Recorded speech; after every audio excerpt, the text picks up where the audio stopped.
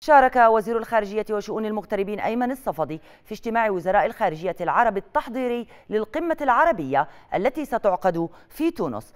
وزير الخارجية أيمن الصفدي قال في تغريدة له عبر حسابه على موقع تويتر إن لقاء تشاوريا سبق الاجتماع ناقش آخر تطورات القضية الفلسطينية ومدينة القدس والقرار الأمريكي حول الجولان السوري المحتل.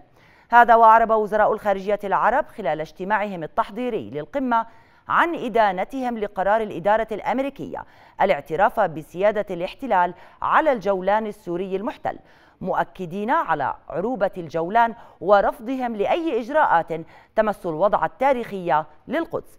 كما دعوا إلى التوصل إلى حلول سياسية للصراعات التي تشهدها المنطقة في كل من سوريا واليمن وليبيا. وقد شهد الاجتماع مناقشة مسائل التعاون العربي المشترك وسبل التعامل مع التحديات والأزمات الإقليمية المختلفة.